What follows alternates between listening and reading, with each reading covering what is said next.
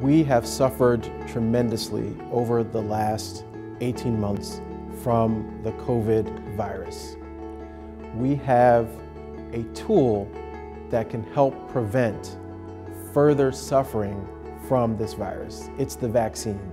It is our best defense against another surge like the one that we saw last year. We believe that the only way for us to achieve health equity, which means equal health outcomes regardless of your skin color, regardless of your socioeconomic status, regardless of where you live. The only way for us to do that is to make sure that all of our communities are vaccinated. I think it's really important for all of us here at NYU Langone Health for the safety of our patients, the safety of our work community. We all need to be vaccinated.